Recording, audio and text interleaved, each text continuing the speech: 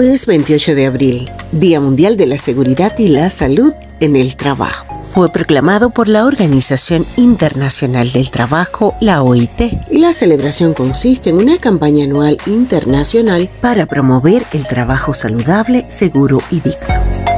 Además, se rinde homenaje a las víctimas de los accidentes de trabajo y las enfermedades profesionales. El objetivo del Día Mundial de la Seguridad la salud en el trabajo es la prevención de los accidentes laborales y de las enfermedades profesionales.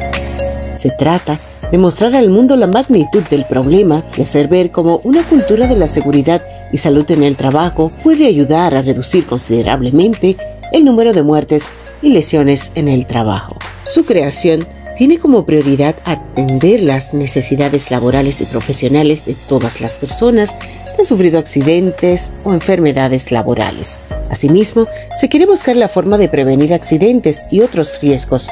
La idea primordial es crear una conciencia social para disminuir los riesgos y daños que pueden sufrir los empleados y profesionales en el campo laboral en el mundo.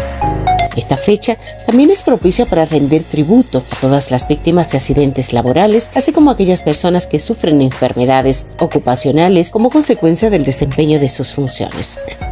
Para la OIT es primordial que exista una cultura de conciencia y responsabilidad de los empresarios para asegurar a sus trabajadores un empleo digno, libre de riesgos que atente contra su integridad y calidad de vida.